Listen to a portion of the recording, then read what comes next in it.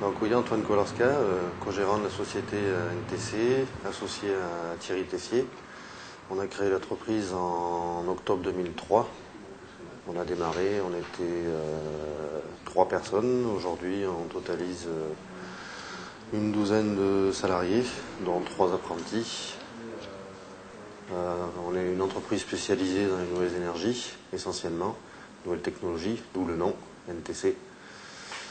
Euh, donc tout ce qui peut être géothermie, aérothermie, euh, solaire, euh, le solaire thermique qui permettra de, réchauffer l'eau pour la production d'eau chaude, ce qu'on appellera le CESI, ou le SCC, système combiné pour le chauffage. Donc le solaire thermique permet de, faire des économies à la fois sur l'eau chaude et sur le chauffage.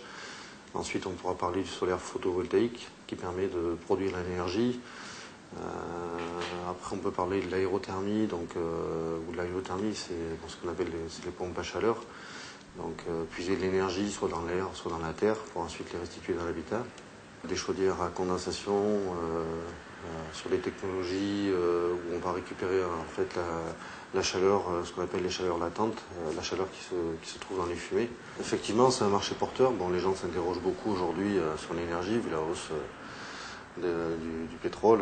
Les, mentalités évoluent, on se rend compte que les gens sont plus sensibles aujourd'hui à, l'écologie et euh, au respect de l'environnement. Euh, bon, il y a quand même une démarche au départ euh, qui est, malgré tout, c'est lié à, l'économie, à l'économie d'énergie, mais on, entend de plus en plus ce que les gens sont sensibles à, l'écologie. Prise de risque, bon, il y en a toujours. Nous, c'est vrai que lorsqu'on a démarré l'entreprise, on a mis plus en avant les nouvelles technologies. Beaucoup euh, n'y ont pas cru. Hein. Nous, on y croyait. La preuve en est aujourd'hui, c'est que bon, l'entreprise s'est bien développée. On est vraiment euh, euh, sur le haut de la vague. On sort sur le haut de la vague. Aujourd'hui, le chiffre d'affaires de l'entreprise est près d'un million deux cent mille euros.